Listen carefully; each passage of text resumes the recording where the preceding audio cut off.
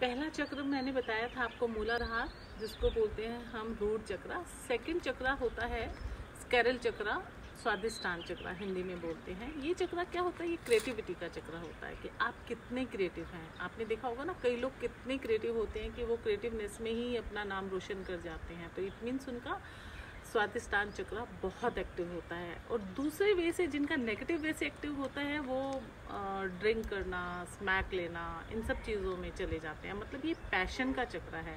अगर आपका पैशन अच्छी जगह लग गया तो आप नाम रोशन कर लेते हैं क्रिएटिविटी में, और अगर आपका नेगेटिव साइड चला गया तो आप फिर उस साइड में नाम रोशन कर लेते हैं। तो ये चक्र बहुत इम्पोर्टेंट है। इसमें आप बहुत ज़्यादा जो फीमेल्स होती हैं ना, उनके हार्मोनल जितनी भी डिस्टर्बेंस होती हैं, वो इसी चक्रा से होती हैं। जितनी भी पीरियड्स की प्रॉब्लम होती हैं, वो इसी चक्रा से रिलेटेड होती हैं। तो इस चक्रा को बैलेंस करने के लिए आपको क्या करना होगा? क्रिएटिव रहना होगा। कुछ ना कुछ जैसे डांसिंग म्यूज़िक कुछ ना कुछ आप क्रिएटिव ज़रूर करिए लाइफ में। और दूसरा ये जो चक्रा है इसके लिए एक मंत्र होता है।